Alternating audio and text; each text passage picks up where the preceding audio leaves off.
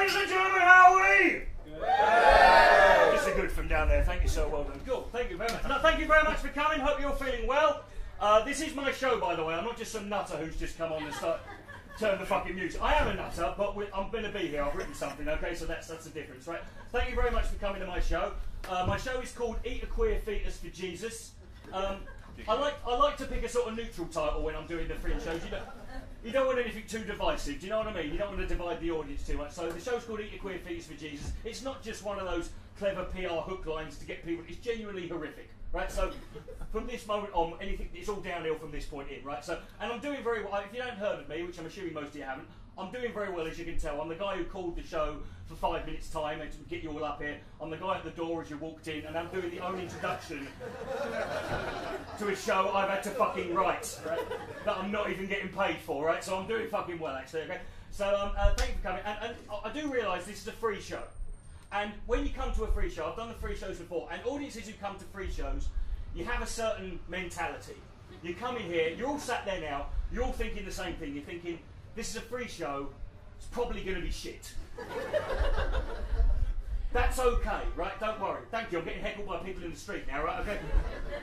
That's okay. You can you can think that, you know, but I want to know you should be proud of yourselves for all being here tonight, right? Because you haven't taken the easy way out, right? Because what you could have done, you're at the Brighton Fringe, you've got loads of comedians coming in. What you could have done tonight, you could have gone to a venue that had fancy things like air conditioning, right? And carpets and shit like that, right? You could have done that. You could have gone and seen a comedian who you've heard of, right? Okay, who's on the telly, right? You could have done that, right? But instead you came in now. If you'd done that, you'd have paid a tenner, and you probably would have like, and for, for your ten pounds, you know what you'd have got? For your ten pounds, you'd have got an hour of jokes, and they would have all been funny.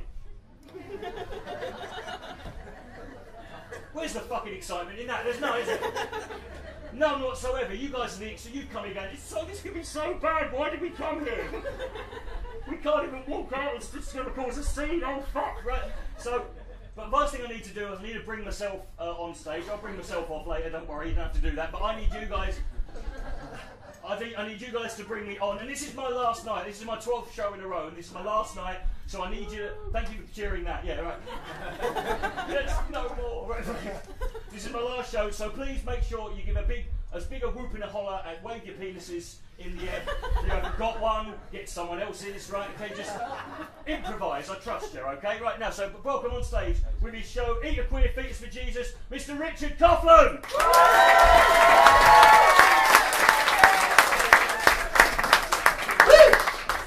Good evening. Thank you very much for coming. So, let's just do a quick check of the room. And now you decide to have a conversation when the show started. That's great. Thank you for coming tonight. You. It's brilliant to have you. Uh, Brighton Fringe. Have we been enjoying the Brighton Fringe? Yeah. You have been enjoying. I love coming to the Fringe shows. I really love coming to the Fringe shows because you get the full spectrum of the entertainment world, right? You get you get to see some of the most brilliant and talented and, and wonderful live entertainment you've ever seen in your life, and then you get to see some of the most unmitigated shit you've ever seen in your life. You can't believe these fuckers have got the cognitive faculties to put their socks on in the fucking morning, let alone organise. Has anyone seen any shit since they've been here? Yeah, it's always something. You've got to see some shit, right? You've got to see some shit. I used to think the shittest of the shit was mime artists. Right? Are there any here? They never answer. Right? Fuck 'em. Right? I used to think it was mime artists. That was until I saw my first human statue. Fucking hate these people. Right? It's not a fucking job. These are people who looked at mime artists and thought, that's too much fucking hard work. That right? I'll just, I'll just take the movement element out of this. Right? It's not. A, every time I see one, I like. I hope you get Parkinson's. I really fucking do, mate. Find out the cruelty of fucking show business then, won't you? Right? Uh, actually, actually um, live in Brighton now, and um, I, live, I, live, I live around Brighton anyway. Anyone from Brighton? Can you cheer if you're from Brighton? Yeah, few of you that. I actually, um, I've moved around a lot in the last few years. Um, originally, I was living at home. In fact, that was in this economy at the moment, the way it is. My plan to get on the property ladder was I was waiting for my parents to die. That was. There's a float going yeah over there, so you know exactly what I'm talking about. Have you got onto the poisoning stage yet? I- That's the, that's the stage I got to when they asked me to leave. I had to then had to leave and go to Dun. I lived in Dunfermline in Scotland for about a year, where Fifty Shades of Grey is the fucking weather forecast every fucking day. And then, but then I ended up living in London. Anyone from London? There's a few of you here. That's why you're a free show. You can't afford fuck all else, can you? You could. Because I, I was living in London, I lived in two places in London, ended up living in a greenhouse in an abandoned allotment in Clapham, right? And still 800 quid a week. I don't know how they fucking manage it, right? right? I don't know if you've ever lived in a greenhouse before. Anyone? No, never.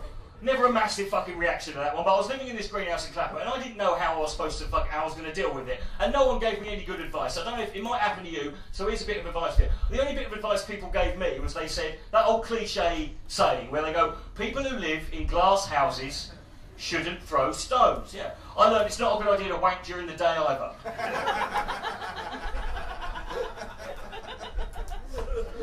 they weren't my fucking tomatoes, I don't know what I was supposed to care, but the um but then after I moved, after I moved out of there, I ended up living in uh, North London for a bit. And I ended up living. There was this guy. He was looking for a flatmate, so I just went there. Never knew it. Didn't know anything about him. All I knew about him, his name was Ishmael, and he came from Israel. Now that rhymes and it's funny, but it's not a basis for a friendship, is it? Right? So I thought. I'll do a little joke to sort of break the ice, sort of get in there, we can get to know each other, become friends. So I thought it'd be funny, because he's from Israel, I thought it would be funny if every morning I gave him all the posts addressed to the occupier.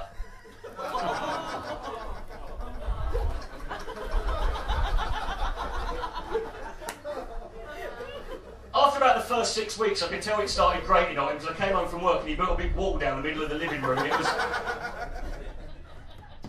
Speaking of wanking in a greenhouse, uh, I'll move on to that right. But speaking of, I don't know if you know this, but May, as well as being the Brighton Fringe, is actually International Masturbation Month.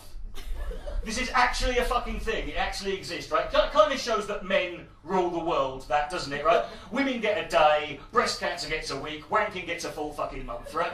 June, by the way, is International Wash the Crusty Socks Under Your Fucking Bed month. right? And it doesn't surprise me though, because I know it shows that some men, a lot of men never get out of that frame. You remember when you were like 12, 11, 13, and you started doing it, and it was exciting, right? You started wanking, and you set your alarm clock six hours before you had to go to school. You can get a couple of dozen in, right? No, some men never get out of that mentality, right? It's never, it's not uncommon. I bet every bloke in this room has got at least one mate who takes wanking far too fucking seriously. If you're sat there thinking, I haven't got that mate, it's you. Okay, that's. I had a mate when I was at college. When I was 21 at college, I had a mate called Terry who was the same age as me, and he put so much fucking effort into wanking. He, he was a connoisseur. He, he, did physics degree just so he could figure out new ways to fucking wank. Okay, he was a fuck, he was a legend, right? And he used to come up with new ways to do it, and he'd always tell me when he figured something new because he like I was like the sample experiment, right? And he come one one night he comes running up to me one morning. It's a Monday, and he says, "Rich, what hand do you wank with?" And I said, "Well, I'm right-handed, right?" And he said, "Right, next time you're having a wank, don't use your right hand, use your left hand, because it feels like a woman's doing it." Hey, hey, you're laughing, but he's absolutely right, because I did it that night, and it was fucking shit. No. now,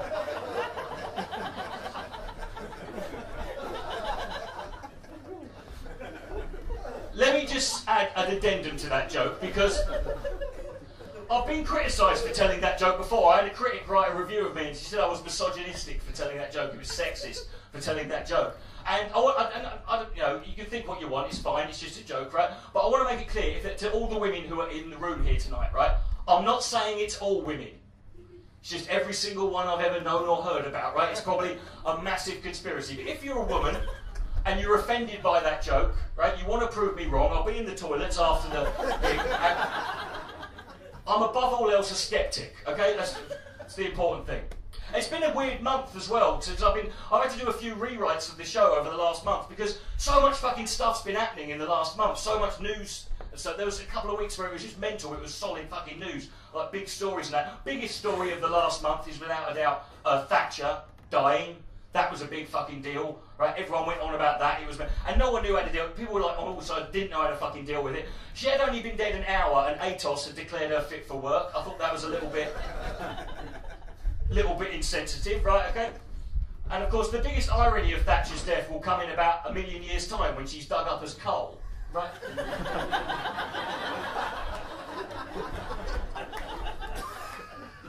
no, she caused the miners' strike. She dies of a minor stroke. These are the fucking.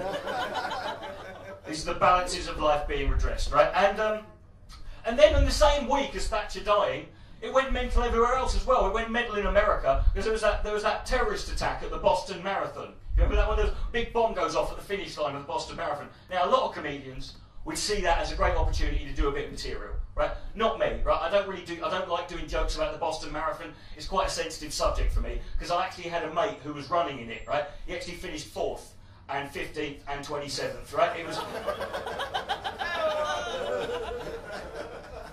the funniest thing, the genuine thing, the genuinely funny thing about the Boston Marathon terrorist attack was that, that, that for about four days after the attack, no one knew who fucking did it. And you could, I just like watching both sides of the political spectrum, both extremes, arguing over who the fuck it was. And you could just see all the people on the far left are going, God, I hope it's a domestic terrorist. God, I hope it's a fucking domestic terrorist. And all the people on the far right are going, God, I hope it's a fucking foreigner. God, I hope it's a fucking foreigner, right? Was it a foreign terrorist? Was it a domestic terrorist? Was it a domestic terrorist? Was it a foreign terrorist? It was two guys who were born in Chechnya but were naturalised American citizens. It's political correctness gone fucking mad. That is Pick a side, lads. We don't know who we're supposed to fucking hate now. It's just it, it, it's just fucking mental just watching all that all that shit unfold, right? And um, my my favourite thing. That's how you could tell. That's how you could tell they were European terrorists. Because European terrorists are the most considerate and thoughtful of all the fucking terrorists in the world, right? Give an example. 9/11. We all know what 9-11 means. If you say 9-11 to someone, no matter where they are in the world, I can say 9-11, you know what I'm talking about, right? But 9-11 didn't happen for us. It was 11-9. But America fucks around with the calendar for no bastarding good reason. And, they, and now we all have to call it 9-11. And we do that because we think it's the Americans. They don't know. We'll call it 9 11 for them, right? But we knew they wouldn't do it for us. So a few years later, when we had our terrorist attacks in London, when did they happen? 7th of July, 7 7. Even they couldn't fuck that one up for us. Considerate, we're thoughtful, right? My favourite news stories of the last couple of months didn't even get any fucking coverage because because of all the other stuff that was going on, it got drowned out. But the, the two, the, these are my two favourite news stories of the last few months, right? And they both come from America. And specifically, they come from the one of the three parts of America that the rest of the rest of the world recognises. Because we only really see three parts of America. There's California on one end, we like that. There's New York on the other, we like that. And the rest of them are thumbless cousin fuckers who voted for George Bush. That's essentially that's how we define America, really, into those three. Well, both of these stories come from the thumbless cousin fucking parts of America. This one comes from Alabama, right? There was a politician who's a Republican called Jim Guile, and he was talking at a town hall meeting, and he obviously didn't realise he was being recorded. And at one point, he used the word nigger, right? Which is not a good idea if you're a politician, right? Now, just to clarify, he wasn't referring to someone in the audience, right? He wasn't just calling some, and he wasn't trying to be gangster or nothing like that, right? Okay. He was probably just referring to someone he used to own, I'm assuming, right? But the, but the thing was, he used the word nigger, and he had to come out and apologise, as you can imagine. Now, even the most cretinous politician in this country, William Hague, right, take for example, if he came out and if he had to fucking apologise, he'd do a good job. You wouldn't believe him, but you'd do a good job, right? This was Jim Guile's public apology for this, right? I should never have used the word nigger. I would like to apologise to all the coloured people I have offended.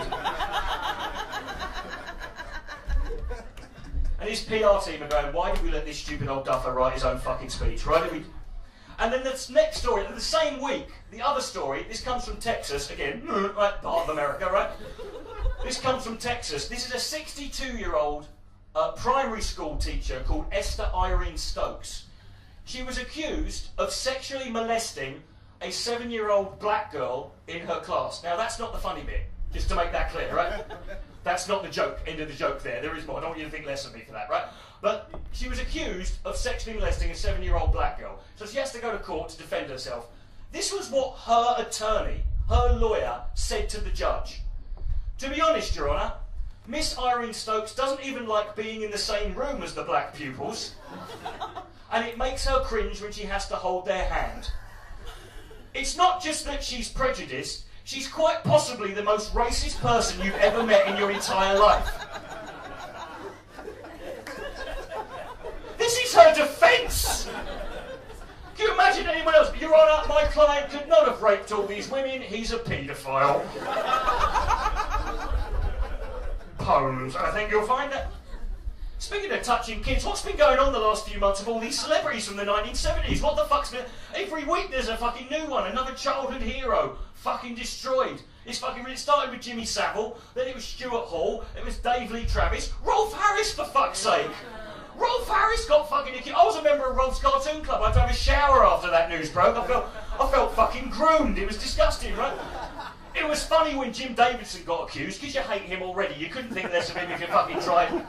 Fucking, you know, sexist, racist, ginger. Fucking add Kitty Fiddler onto that. Who gives a fuck? It's Jim Davidson, but not Rolf Harris.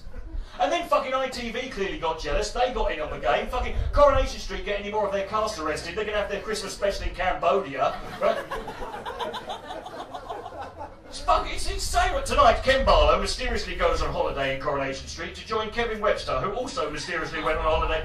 They're running out of fucking real people to arrest from that time period. I'm half expecting to see a news report where they go, SuperTed and Spotty have been taken in for questioning, along with Baron von Greenback and Inspector Gadget. Uh,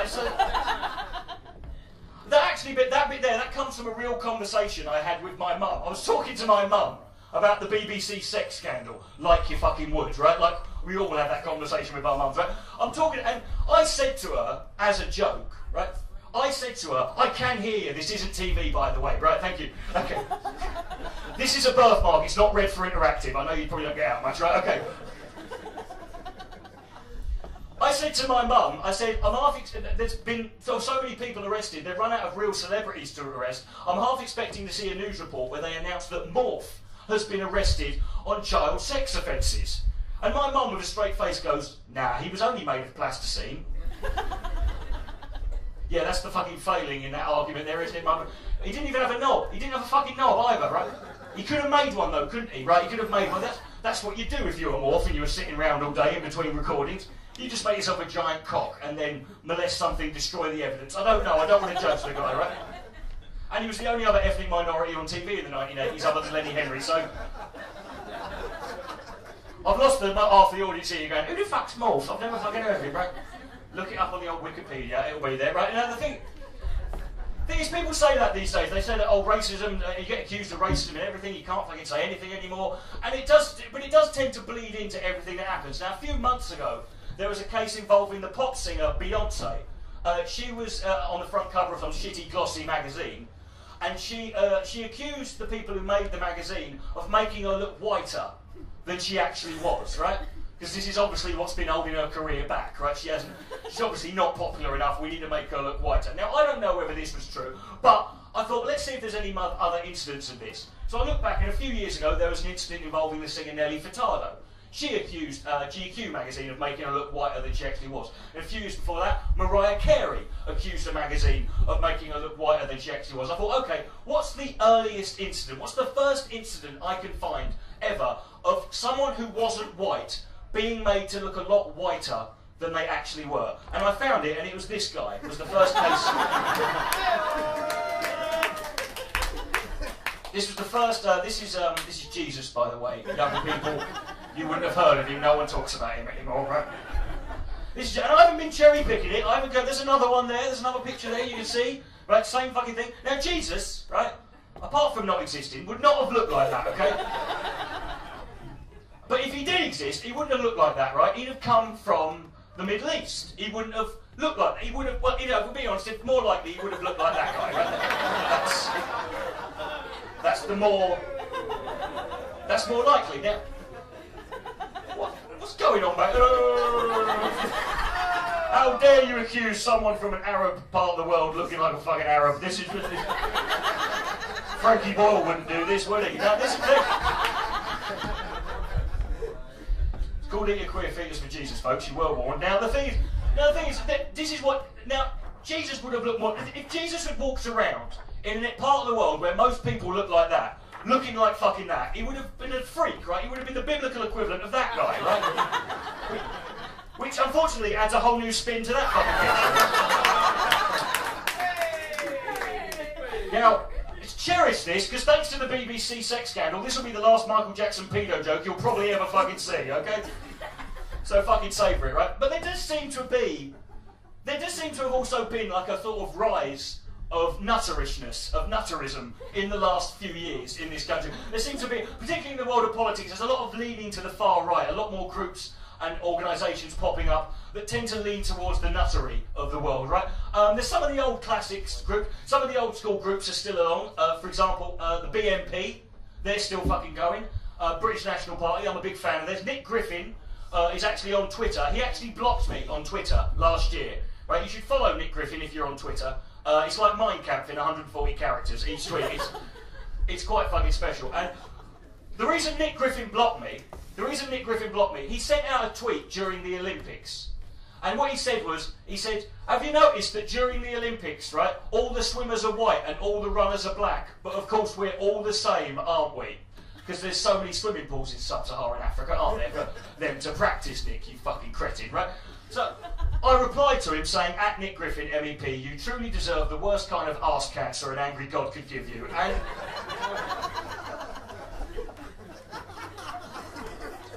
And it's not question time level debate material, I'll grant you that, but it's it's fucking there, okay? But so, so but the thing about the BNP that's interesting is, um, I, obviously, I've never, I've just never understood nationalism in, in, in, in any sort of way. Nationalism, it always seems to me, it's being proud of falling out of your mum. That's really what it is, right? You, you fall out of your mum wherever you are. That's the high point of your life. It's all dead. That's what your proudest moment was, right? You fell out of your mum, right? Do you want a biscuit for that? Right, okay, I don't fucking... And the arguments they throw around, the arguments they all throw around, they never make any sense to me. Even the, there's the old cliche ones. I mean, we've all heard the, cliche. this is a cliche, this argument, but you've all heard it from these people. They go, fucking immigrants, coming over here, stealing our jobs. Now, that's never happened. Nobody's ever had their job stolen by an immigrant, right? There's never been one recorded incident of a guy going to work one morning,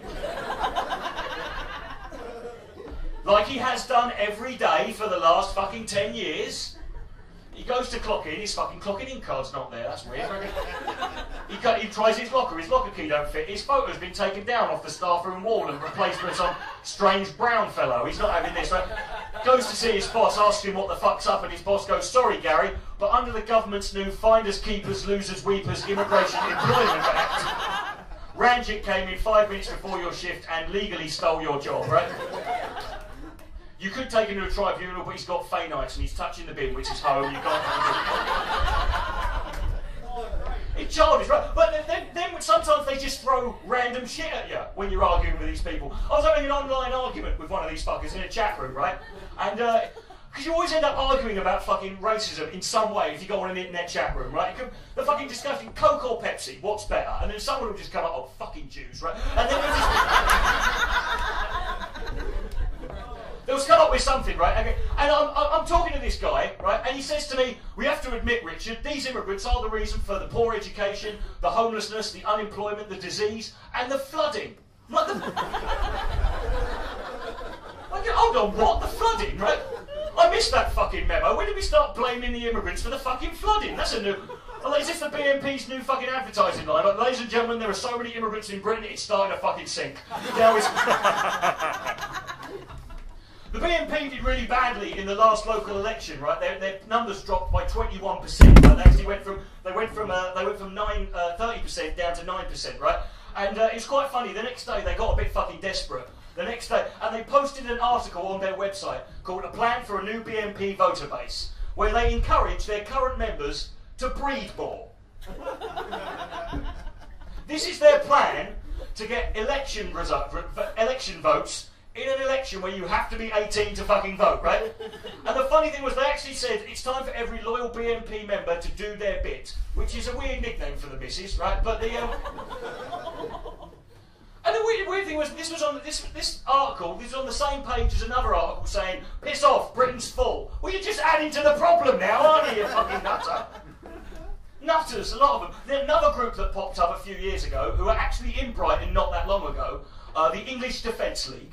Right, they're up on the EDL. Uh, they've all got sort of three-letter acronyms because their, their fan base are not the most literate. Right, so BNP, EDL, BFP, NFA. They just go through them all. Right, they got and the EDL. If you're not familiar with the EDL, what they basically do is a combination of football hooliganism and rambling. Right, that's.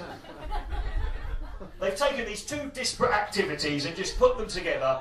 They're a rambling football hooliganist organisation, right? They just show up at a place march down it, smash it up, because if they don't, the Muslims will do it for us, right? And so, and then they fuck off home. That's basically it, right? And uh, they got a bit confused a few months ago, however, when they, they went for a march in Denmark. I'll say that again. The English Defence League went for a march in Denmark, the purposes of which, according to EDL leader Tommy Robinson, was to tell the people of Denmark to stop letting people into their country and tell them what to do. What am I supposed to do with this exactly? This is just. Well, well fuck off then, mate. That's, a, that's the sort of basic response they should have had, right? I got blocked by Tommy Robinson on Twitter too. He's on there as well. Um, you should follow him as well. It's like Kampf in 140 characters, but it's much more badly spelt, right? That's because he didn't go to Cambridge, right? And uh, he actually he sent he blocked me on Twitter as well last year. FHM magazine did an eight-page spread on the EDL, and he comes and he sends out a tweet saying tomorrow there'll be an eight-page spread on the EDL in FHM magazine, and I replied saying normally that magazine's just filled with tits, but it's nice to see there's going to be eight pages of cuts in it as well now. So thank you. And he just put Tommy Robinson on Twitter. He just puts his foot in it. Whoever fucking took convinced him to get one. He was trying. He was trying to be clever the other day by claiming that he was, you know, he, he was actually sent by the Islamic god Allah to correct the mistakes of the Prophet Muhammad. Unfortunately, he spelt Allah Alan, right? He says, "I'm the Prophet. The Prophet Alan has sent me. Which one? What, which one? Who the fuck? Is It's ridiculous. thing about the English Defence League is they like to claim they're a little bit more groovy and, uh, and liberal and open-minded than your average bunch of uh, white nationalists, right? Then what they do is they've got all these different divisions. They've got a gay division. His name's Terry. No one's ever seen him, right? and they've got a Jewish division, which they had to disband after they found out the leader of the Jewish division had links to terrorist organisations in America. Now, when the Nazis have to kick the Jews out of their group because they're too extreme, you know things are going a little bit fucking mad, right? But they got they set up. They're, they're trying to boost up their membership. They've got the quadriplegic midget division, the French cabaret chanteuse division, the gay animal porn fluffer division. They've got all these different divisions. But they got a bit desperate a little while ago. They got a bit desperate a few months back to try and boost their membership. I'm going to show you an actual screenshot from their website. They set up the English Defence League Dog Division, right? This is a division of the English Defence League for dogs, right? I'm not making this up. This is the information they put here, right? Okay. Police are coming again. Right, here we go. Now, Tyson, that's the name of the dog, right? Tyson of the DDL, Dodd Defence League, right? haven't even spelt fucking dog correctly. But what's the Dodd Defence League? Is that the fucking guy with bad hair and big teeth and a feather duster tickling Muslims so they fuck off home? Or has he been arrested for being a pedo now? I don't fucking know. I can't keep track of them all, right? Not Ken Dodd, no. Tyson of the DDL, Dodd Defence League, joined forces with the EDL in protest at the New Islamic Centre in Dagenham. Tyson is the founder member of the DDL, which campaigns against Muslim cab drivers that refuse guide dogs into their cabs on religious grounds, and also to stop Cananism. That's racism against dogs. Because the Cat Liberation Front did very well in the recent elections. I don't know if you know about this. Their leader is a tabby with a wonky eye going send the bastards back, right? I've actually got a picture of Tyson. Do you want to see what Tyson looked like? There he was, a great big fucking Rottweiler! It's a great big Rottweiler. Who saw that one coming? You never had a fucking clue. You're thinking, what kind of dog would the English Defence League possibly, but it would be a Shih Tzu or a Labradoodle. No, it's a great big fucking Rottweiler, right? And I, I was pissed off. I was pissed off when I saw this picture of Tyson because it meant I could no longer accuse the EDL of not having any black members, right? So, and uh, this kind of idea, this kind of mentality, it's kind of all over. Uh, it's kind of all going all over Europe as well. Uh, one of the biggest countries where this sort of stuff is taking off is in Holland, right? And uh, one of the big, the most successful politician who's done well out of this is this guy here. Now, um, his, I don't know if you recognise him. His name is Geert Wilders. Geert Wilders, he's, uh, I, I, saw him, I thought he's changed since the first Willy Wonka film, right? But that's the biggest laugh that joke's ever got. It's crap, I, I keep it in because I like it. Right? Geert Wilders, right? He's the leader of the Dutch Freedom Party. Now, there's a big clue for you right there. any political party that's got the word freedom in it is filled with Nazis. This is how it works. It's basically a political comb over, is what I call it. Right? Now, the thing about him, he basically works on the same principles as the BNP. It's all anti-immigration, send them back, don't they, close the borders and all that stuff, right? But the thing about him is, this might surprise you, he's full of shit. No, no, no, no, I'm serious. He's full of shit. No, fuck it, wait, wait, right. I know, I know he looks like a Gestapo officer in this picture, right? Do, do you know where he's from? Right? He's from Indonesia. He's a fucking Indonesian. He comes over to Holland, right? And he's fucking, he's telling them that they can't fucking start letting foreigners in, right? And I know, look at his hair, right? Look at his, you can see. I know, like I said, he, he, bleaches his fucking hair. You can see his roots coming through at the top. He, he does this to westernise himself, right? This is what he says, right? It's a good job too, because you can't be taken seriously on anti-immigration policy if you fucking look like that, Right? Because that's just one step away from fucking that, right? And before you know it, you're right fucking there, right? Obviously, this isn't entirely accurate. They would use a pita bread. It's a bit crude, that one, but... or a wrap, I don't know, maybe a nine. I'm just, you know, I'm just spitballing here. But the thing is, the closest we ever got in this country to having a Geert Wilders type figure was in 2004 and 2005 when the leader of the UK Independence Party was Robert Kilroy Silk, which I still can't get over. Kilroy was the leader of a political party. Fucking Kilroy, right? And he was accused of being racist, right? Leather-bound face, you all know him, leather-bound face. Hair as white as he wished everyone in the country was, right? He was accused he was accused of being racist, mainly because he was the leader of the UK Independence Party, and it's on their application form, right? Now, he was accused, right? And you, you know when you know when a racist person tries to prove they're not racist by finding a tenuous link between them and another non-white person, right? He did the best one ever. Like he was asked by some journalists, Mr. Kilroy what do you make of these accusations and allegations that you are in fact racist? And he goes, I can't be racist. I've got a black chauffeur. Not even friend, right? Not even friend, black chauffeur. That's the level he's willing to put his fictional association with black. He might as well have said, I can't be racist. Look, I've got a pet nigger. Come here, son. Come here, Tyson. Come here, boy. There we go. Stroke his hair. It's like wool. It's like fucking wool. Back in your cage, mate. Back in your cage. There you go. He's happy. He's happy. Right? Leave him alone, right?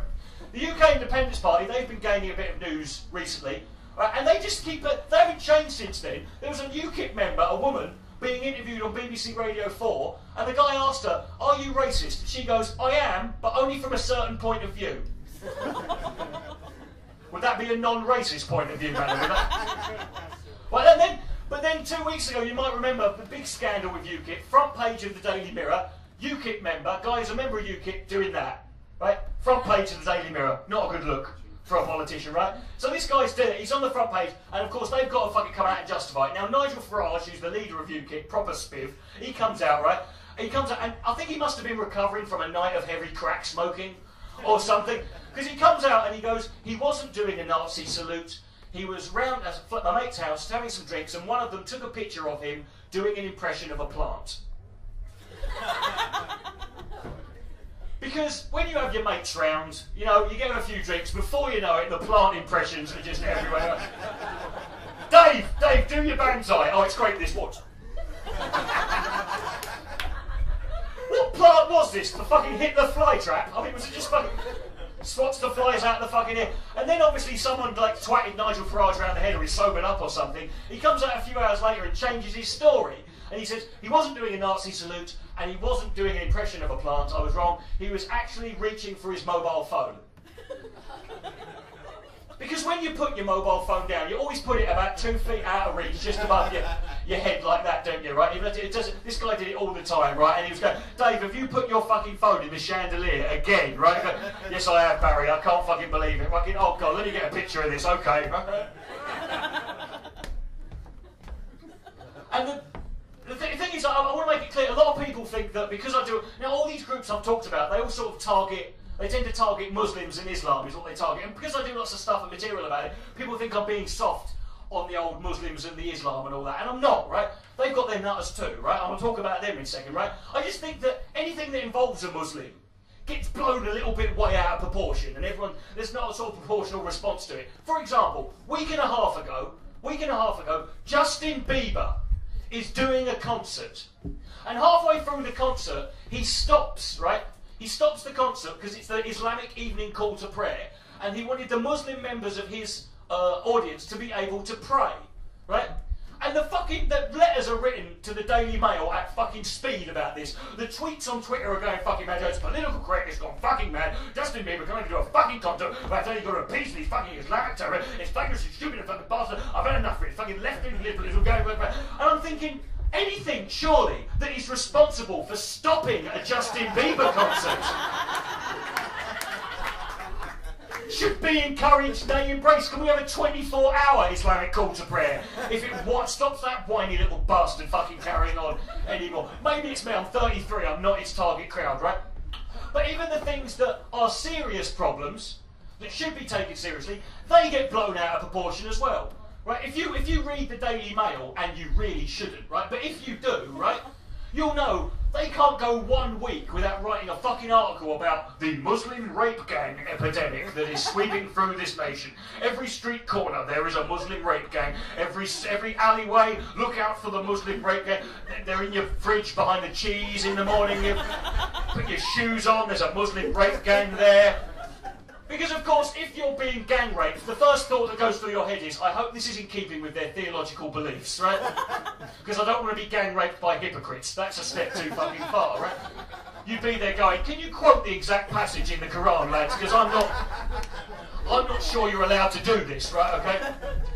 Saying that, I'm a, I'm a bit of a lefty. I'd be there wanking them off so I didn't cause a fuss, right? Okay. Just enjoy yourself, lads. It's multiculturalism. It's great. So it's diversity, you know what I mean? You don't want to offend anyone, right? Do you want to come in the face now? Or, right, okay, we can wait, right? And then the, the, the, incidents that involve really bad, like lots of bad mental Muslims, generally don't happen in this country. Do you remember in 2008, there was a story where a guy from Denmark, a Danish guy, he drew a cartoon of the Prophet Muhammad with a bomb as a turban. Remember that? And within half an hour, most of the Middle East is on fire, right? Okay, and I was watching this, right, and it's quite funny. All these Islamic leaders came out and said, We are no longer going to do any trading with Denmark. I'm like, They only sell bacon, mate. I don't think that's a massive commodity. It's either that is, unless Peter Schmeichel's converted, I don't fucking know what you're going to be interested in, right? So they come out, and I'm watching this. The next day on the news, they showed you all these clips from this protest in Iran. All these angry Muslims, tens of thousands of them, all marching down the street, burning Danish flags. And I'm sat there for the whole time, and I'm sat there, all I could think of was, where the fuck did they get all those Danish flags from? In Iran, right? At a day's notice, right?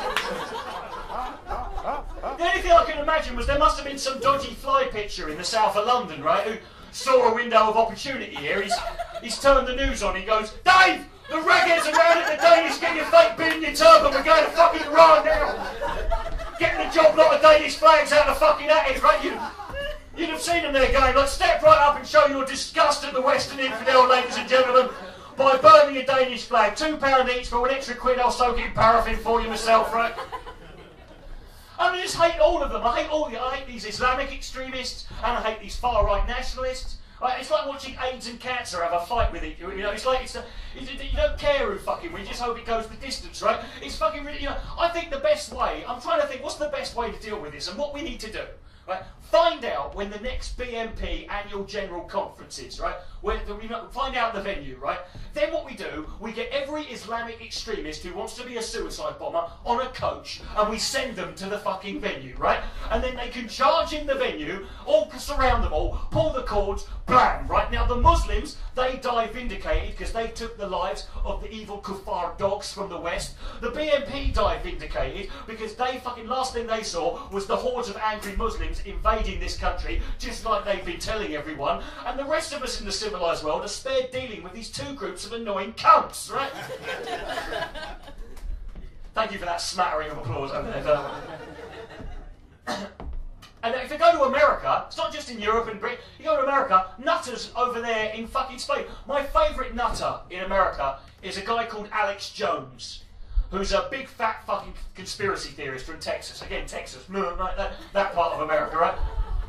Big conspiracy theorist, right? He's, he's, he's got a lot of uh, press and publicity lately in America because uh, of the gun control thing. Because there's this argument about gun control in America, which, from what I can establish, seems to be two groups of people. One group saying maybe we should just, before we sell a, an assault rifle to someone, we should make sure they're not completely fucking mental, right? And the other side going, no! Right? These paranoid, they go mad with guns in America. They're just so fucking. I figured out the best way to deal with gun control in America, right? If you believe that the government is going to come and break into your house and take your guns away from you, the government should immediately break into your house and take your fucking guns away from you. Because you're too paranoid for your own good, right? But Alex Jones, he's got some great conspiracy theories. My favourite conspiracy theories of his involves gay people. He thinks he's. I'll, I'll read the whole fucking thing, right? I'll read the exact quote he, he, he gets out here, right? Because he thinks there's more gay people now than there used to be, and he's got a theory as to why. I didn't know this was a problem, right? But he said the reason there are so many more gay people now is because it's a chemical warfare operation. I have the government documents where they say they're going to encourage homosexuality by putting chemicals in our food that turn us gay so that people don't have children. Now that's a perfectly reasonable fucking argument there. Now, of course, he doesn't realise there aren't more gay people now than there used to be. There are just more honest gay people now than there used to be. Because about 60 years ago, even in this country, if you were gay, it was against the law, and you went to fucking prison, right? So people tended to keep stum about it. And then, one day, someone in the government had the bright idea. They went, you know what? I don't think prison is the best place to put men to dissuade them away from bum sex.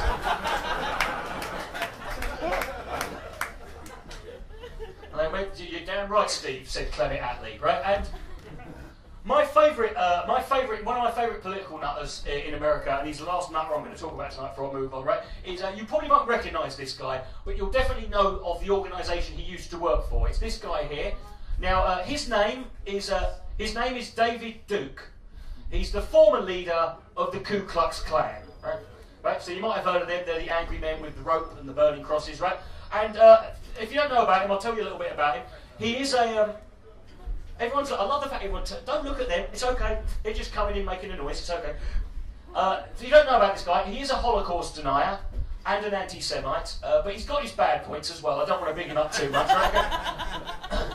Some of these are still jokes, by the way. It's fine. Now, the, now, the thing about David Duke is I respect David Duke, and the reason I respect David Duke, I respect any politician, regardless of his beliefs, who is willing to sort of go above and beyond the call of duty to prove to you that he believes in what he's saying. And David Duke has done that, and I'll show you why. Because one thing David Duke believes in is racial segregation. And he's taken it to such an extreme that he's separated the white and the brown hairs on his own fucking head. Can't help but respect that man. I can't anyway. Now, all these people I've talked about, since I've got on stage tonight, all I've talked about are nutters, right? All I've talked about is all these different types of nutters, right? And the thing is, right, I saw when it comes to these nutters, I'm always sat that you know they were they were probably quite most of them were probably normal people at one point in their life, right? And then they just snapped one day. Because I bet you've all, I bet everyone in the, in this room can think of one personal one personal example from their own life of one person you knew who was a perfectly reasonable, decent human being, and then one day they woke up and went, "Oh fuck this." I'm going to be a nutter for the rest of my fucking life, right? It's going to be a massive shit. I don't fucking care anymore, right? Fuck it, right? And I thought, and I start thinking, I wonder if that's going to happen to me. Am I just going to fucking wake up one day, or I'm just going to walk? Am I just one day for no reason just going to snap and go, and I'm going to suddenly be one of these fuckers, right? And then I remembered, as I was thinking that, I realised I almost fucking did, right? And I'm going to end the show tonight. I'm going to tell you the true story of how I nearly became a nutter. I hate the fact that people always laugh at that bit, right? Fuck you. Now, the, um, now, I've got to tell you, this is a true story I'm going to tell you. I'm not proud of it, it gets a bit grim in places, but it's a true story. Okay, let's move, let's go on. Now, let me give you some geography of the story, right? Uh, it's 2005. I'm living in Winchester, which is just down the road from here. Right? Uh, uh, thank you for that. just cheer as you come in. Thank you very much. Right? I'm living in Winchester, right? and uh, I'm going out with a girl. No, a girl. Seriously, right? Fucking serious, right? There was a girl, right? Some of you just lost a fiver bet with your mate there, haven't you, right now? he fucking wasn't. No, he, he was, right? I'm, I'm, in Winchester and I'm going out with this girl who lives in southeast Kent in Faversham. So we're about five, uh, so we're about, we're about uh, 120 miles apart, right? We're about 120 miles apart. Right, now, we've been going out years. Now, we used to see each other week by week. We'd alternate when she she'd come for two days, uh, well, she'd visit for two days. She wouldn't come, that would be, not, I'm not an animal, right? Okay, so she'd visit, she'd visit for two days, and then I'd visit her for two days, and then vice versa, vice versa, right that, okay? And it's going well, the relationship's going well, right? It's uh, you know solid, no great big plans for the future, but it's a solid relationship. And then one day, I'm in Winchester, it's 11 o'clock at night on a Wednesday, she's in Faversham, she rings me up on the phone, and she gives me some news, some very bad news. She says, Richard, I'm pregnant. Now, I didn't need to hear that. I did, don't fucking clap that. Listen, mate, this show's called Eat a Queer Fetus for Jesus. You might be able to work out how this story ends, right? You won't be clapping by the end, right? So, get out. Now this is the thing, right? I don't want to fucking look after each other. I'm fucking, I'm scared shitless now. Big chills got down my spine, back bowels have loosened up. I'm fucked, right? Because it took me once. It took me half an hour to find the cue on my keypad on my laptop. I don't fucking need a human being to fucking look after on top of that. You ever done that? You're like, it was here yesterday. There was a fucking queue here. Right, let's go start. JS1 Now you just go in through, right? So I don't need another human being. But fortunately, before I had to express my fucking concern, my girlfriend said, I don't want to have this kid. And I was like, yes! Right? I, well, I didn't do that out loud, right? I mean, kept that very much inside my own self, right? I played it down low, right? But uh, I, she's got to, we're going to say, right, okay, we're going to terminate the pregnancy. But here's the problem. We have to wait four weeks, right? Now, for that four week period, I don't want to make out that what I was going through was anything as bad as what she was going through, obviously. But what I was going through was every day for that four week period, all I could think was, please don't fucking change your mind. please do not fucking change your mind. Don't phone me up one day with that fucking phone call. I don't want to fucking hear this, right? I'm scared shitting myself every time the phone rings. Don't change your fucking mind, right? Now, the thing was, when it comes to abortion, I've always been pro choice. That's always been my position. I'm sure many people here have that position or whatever.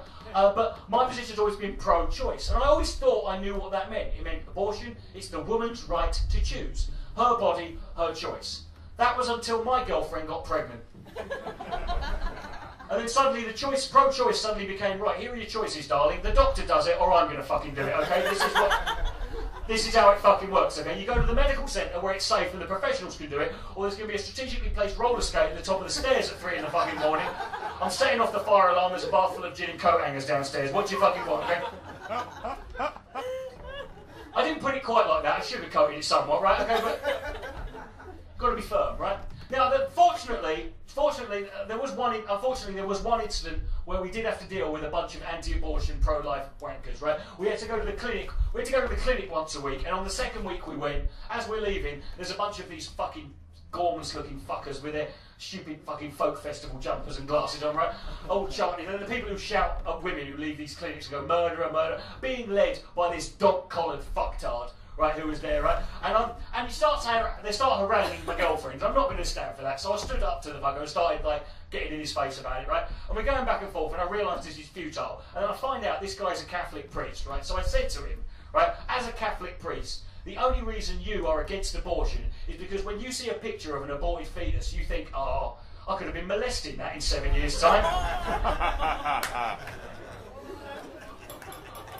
Throw that one in at Christmas dinner, surprise your name. Now, uh, I want to make this clear now. Because people think, because I've written a comedy show, uh, I've written a comedy routine about this, that this was funny. To me, it wasn't. It was not funny in the. It was one of the most traumatic, stressful, upsetting, emotionally draining four weeks of my fucking life. I wouldn't recommend it to anyone as a Debenhams Red Letter Day special, okay? It's not, it wasn't fun, right? And the problem with it, though, the problem with this is the reason it's not because because you're going through it, you don't feel you can talk to anyone about it. You don't feel you can actually get this off your chest with anyone. You don't feel you can express because there's no matter how cool and groovy we are about abortion, the fact of the matter is there's this black cloud that hangs over abortion. Whenever you bring it into a conversation, whenever you mention it, and there's this tension that fucking just rises, and you don't feel you can get, you don't feel like you deserve sympathy from anyone, right? And because of that, you don't you don't know how to talk to anyone. And because of that, nobody fucking knows how to talk to you. Right? Not even the professionals at the medical centre knew how to deal with it. And the week before, the week before she's due to have the abortion on a Friday, we went into the centre and she has to have an ultrasound, one of the scans, right?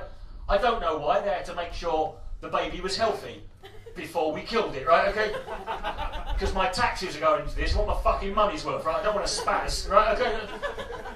Don't want to just be killing some cripple. It'll be a waste of time, right? Okay? Want the full fucking Christmas dinner. Now, so here we go. So she's doing the scan, the nurse, right? She's doing the scan, right? Does the scan, everything's fine. Then she prints off a copy of the scan, leans over to me and goes, Would you like to keep that, sir? what? Would you like to keep the copy of this? No! Of course I don't want to keep it, you stupid fucking cow. Why would I want. I don't want to keep the thing that it's a copy of. Why do I want. This is not a fucking Kodak moment for us here, darling. This, is, this ain't like the fucking generation game where you get a cuddly toy and I get a fucking big prize at the bloody end, right? What am I going to do with this exactly? What did you think was my plan? I'm going to go, oh yes, we'll put this in the photo album. We'll, we'll reminisce about this in years to come. Oh, darling, do you remember when we killed our unborn child? oh, Corky, what would he have grown up to be, right? Or am I supposed to torture my parents with this one? Give it to my mum. So there you are, mum. There's the grandchild you're never going to fucking get, okay? Because I'm an irresponsible cunt, right? Don't buy him any clothes, he won't grow into them, right? If, if you went for a mastectomy, they wouldn't give you a tit in a presentation case to take home with you, would they? Here's your bollocks on a plinth. Well done for surviving cancer, sir. Right? They wouldn't do that. If you're going to be this insensitive about it, why don't you go the full hog? Put the fetus in a jar and make us wear it around our neck like a sort of perverted version of Flavor Flav from Public Enemy. We can march down the street and people can throw raw tomatoes at us and fucking pels me and shout abuse. Bollocks. Put an abortion gift shop at the fucking end of the clinic as you're on your way out. Like the fairground when you go on a roller coaster. Get your scan, put on a t-shirt under the phrase, better luck next time, Junior.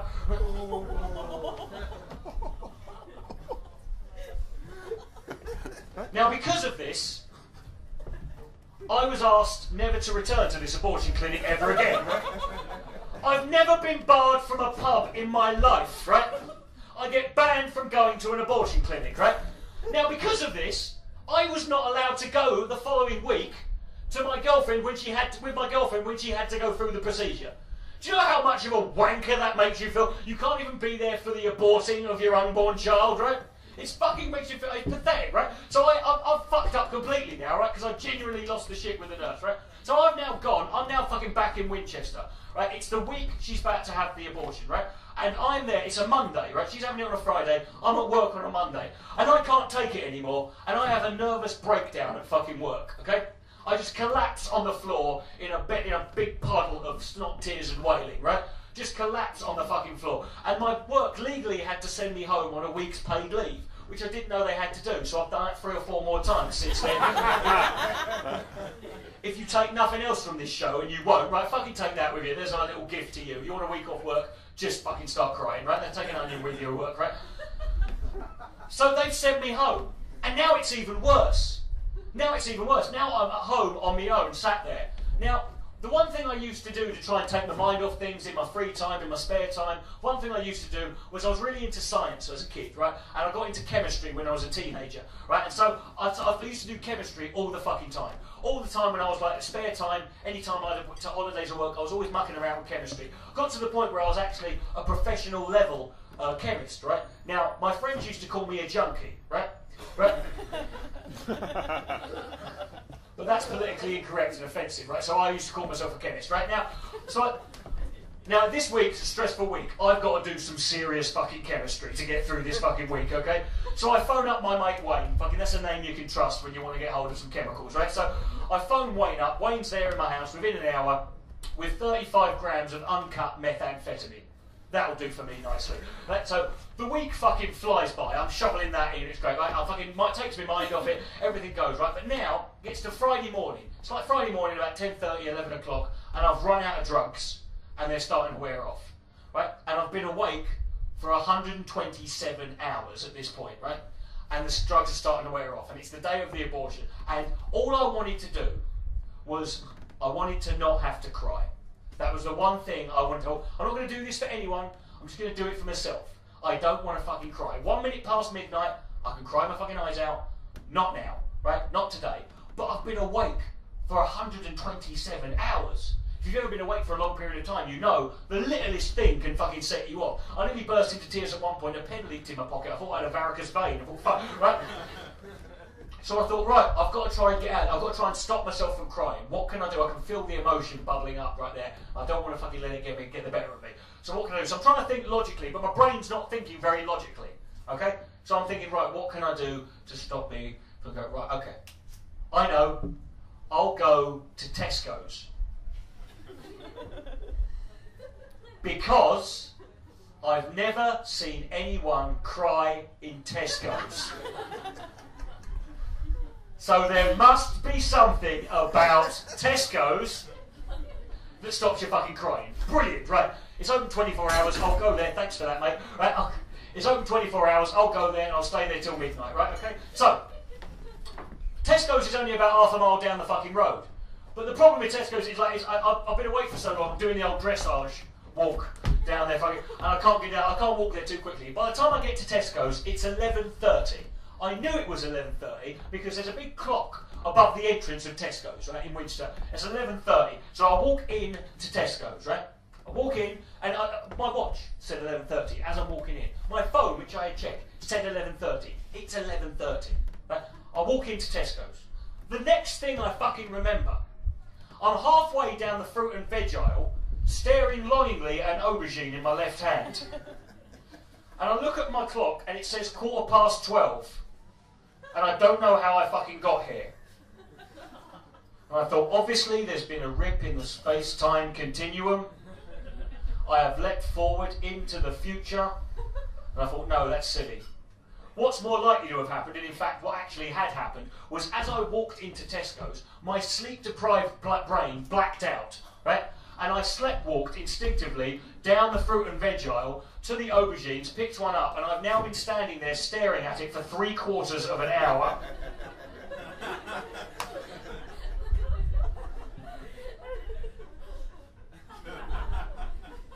And I knew that was the case because there was a load of like three or four members of staff from Tesco sort of hanging around behind me going.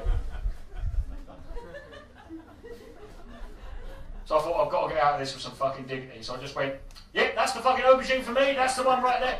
You've got to check these things thoroughly, lads. You've got to fucking. You've got to, you've seen Panorama, terrorists put anthrax in these. You've got to hold them in the light, right? Okay. I've got my fucking aubergine. So I'm going down, I'm, I'm like Neville Chamberlain marching down the fucking street with my aubergine in my fucking hand. I get to the end, I get to the end of the fruit and veg aisle, and I get this almighty, crippling pain in my stomach. It's fucking unbearable. It's not like a twinge. It's like, just, it hits me instantly. I'm just like, oh! Oh, fuck! Oh! Jesus fucking Christ! Oh, fuck! Everyone behind me scatters because they're thinking two dozen aubergines are about to fly out of this bloke's arse, right? Clearly going for the Guinness World Record for aubergines in one rectum, right? So I'm suddenly going, oh, fucking hell, what is this pain? What is this? Is fucking, oh, God, I can't stand this, right? And I, and I remembered, hold on, it's quarter past 12. That's the same time as my girlfriend's appointment to have her abortion. It's the exact moment. At the exact moment when she is 120 miles away, undergoing a medical procedure that is causing her great pain and discomfort in her womb, I am 120 miles away in Winchester, in Tesco's, experiencing a great deal of pain in where my womb would be if I had one, right? So this is freaking me out quite spectacularly at this point. I'm really fucking scared. Now, I'm not a religious man. I'm not a holy man or a spiritual man. You might have fucking figured that out from this uh, right, show. But I'm saying I'm, I'm having a crisis of faith here in Tesco's, right? I'm thinking, whatever's doing this, this can't be a coincidence. It cannot be a coincidence. Whatever's doing this, it must be some higher power. Let's call it God, right? And God is punishing me right here, right now. He's sending me a message for me being irresponsible with life, because only He gets to give life and take it away, not me, and He's punishing me for the pain and the misery and the suffering that I have caused. And I'm starting to freak out, and I don't want to be the first guy to cry in Tesco's. So I think I've got to get out of here right fucking now. But I've got to pay for my aubergine first, okay? Don't fucking lie, I've got to pay for it, haven't I? I've just stood there looking at it for 45 fucking minutes. If I go put it back and walk out, like a right loony, wouldn't I, right? So I get to the fucking checkout. There's only one guy in front of me, right? And I'm fucking forget holding in the tears. It's at the fucking. It's the point of no return. I'm there. You know when you're just trying to hold it in. I'm just like.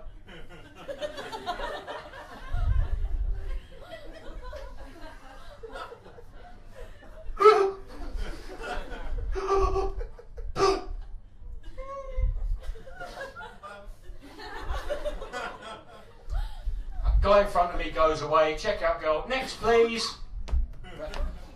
Checkout girl. 17 years old. Her name was Stacy. Best fucking checkout girl I've ever seen in my life, right? Didn't bat an eyelid, didn't flinch, professional, thick as pig shit, really, borderline psychopath, if I'm being honest. No ability to read human emotions or understand the reality of the world around her, and I needed that. I needed someone who was not too clued in and figuring out what kind of stress I was under at that point because I wanted to get the fuck out of there really quickly, right? So she goes there, so just the aubergine, so just, just, you know, she bristles the fucking thing out of me. I had a vice-like grip on it. I'm just stood there trembling. She just she just tucks in a 4,000 digit code for aubergine, puts it in a bag, and she looks at me and goes, "Do you have a Tesco Club Points card, sir?" yes, I do. Because I did.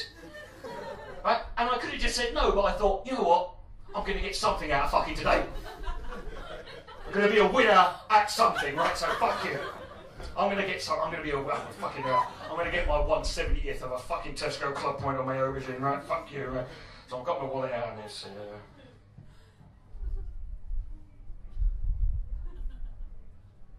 it's not there. It's not fucking there.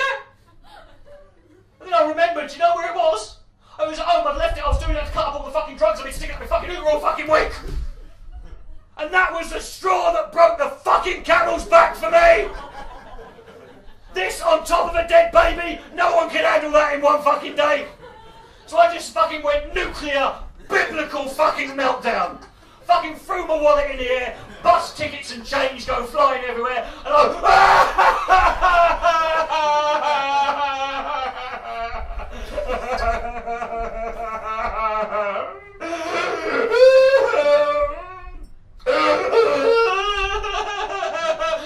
stabbing pains came back in my stomach, but they were ten times fucking worse this time.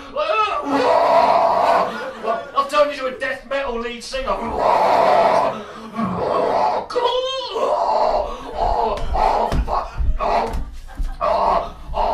And this voice in my head goes, right, Rich, this is fucking it. This is the moment where you got to turn your fucking life around, right?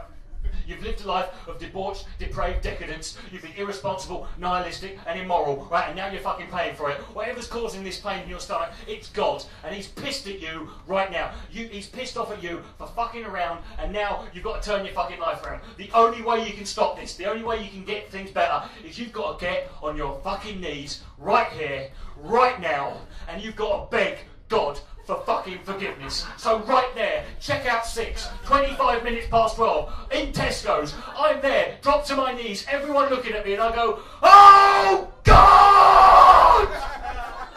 Why have thou forsaken me? I'm sorry! Okay, asshole, I'm sorry!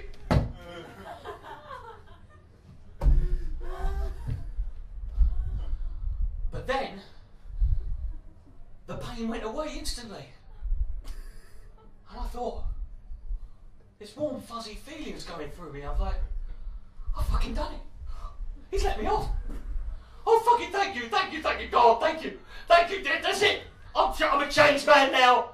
No more debauched, decadent depravity. No more fucking drugs, sex. No more alcohol. No more heavy metal music. No. From now on, I'm a changed man. I'm working for the Lord now. I'm going to go forth. I'm going to travel the land. I'm going to go forth and I'm going to tell people if you're in pain, if you're sad, if you're miserable, you can get right with God. You can feel better. All you've got to do is get on your knees and beg God for forgiveness. And if you mean it, He'll forgive you because He loves you. Right? I am now a servant of the Lord. Unfortunately, as quickly as this life changing theological revelation came to me, it quickly disappeared. Because I realised something. As I dropped to my knees, I'd shit myself.